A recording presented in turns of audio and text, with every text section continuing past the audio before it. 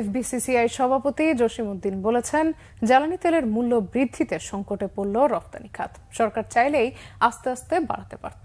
জ্বালানি তেলের মূল্য বৃদ্ধির পর লোডশেডিং কমবে কিনা সে প্রশ্নও এফবিসিসিআই সভাপতির। অর্থনীতিবিদরা বলছেন, সরকার শুধু বাংলাদেশ পেট্রোলিয়াম কর্পোরেশন, বিপিসির কাছ থেকে টাকা না নিলেই জ্বালানি তেলের মূল্য বৃদ্ধির প্রয়োজন হতো না। দেশে প্রায় নিয়মিত বিরুদ্ধে বাড়ছে জ্বালানি তেলের মূল্য। গত বছর নভেম্বরেও বাড়ানো হয়েছিল দাম। আর গত কদিন আলোচনায় ছিল, আবারও বাড়ছে জ্বালানি তেলের মূল্য।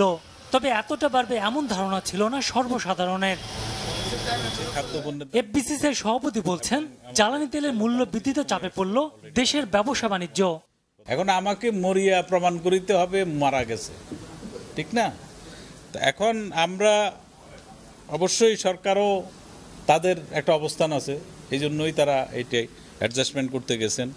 আমাদের ব্যবসায়ী থেকেও দুই একজন বলছে যে এটা অ্যাডজাস্টমেন্ট করা দরকার।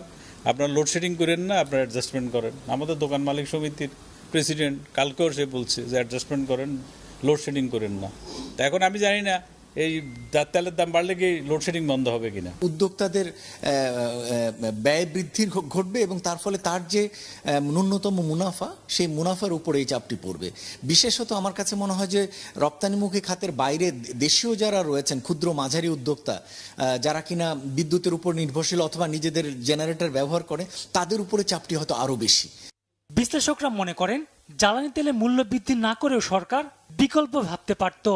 বিপিসির যে বাড়তি অর্থ সরকার নিয়ে ফেলেন প্রতি বছর অর্থ মন্ত্রণালয়, সেই টাকাটি যদি না নিতেন, তাহলে বিপিসি তার অর্থ দিয়ে তার নিজের ব্যয় মেটাতে পারত তার জন্য সরকারকে ভর্তুকি দিতে হতো না।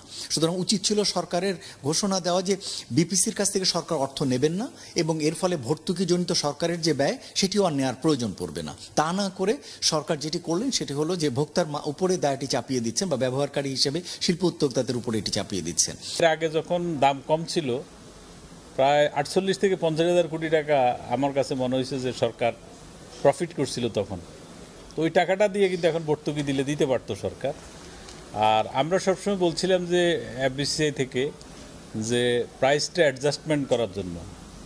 অ্যাডজাস্টমেন্টটা সবসময় যদি কিছু কিছু করে করতো তাহলে কিন্তু বেটার হতো। মানে জাস্ট মানে আমরা সহ্য করার মতো অবস্থা। বিশ্ব বাজারে জ্বালানি তেলের দাম নিম্নমুখী মন্তব্য করে এফবিসিসি সভাপতি জানান রবিবার বিদ্যুৎ জ্বালানি প্রতিমন্ত্রীর সাথে বৈঠক করবেন ব্যবসায়ীরা জি এম আহসান বাংলা ভীষণ ঢাকা।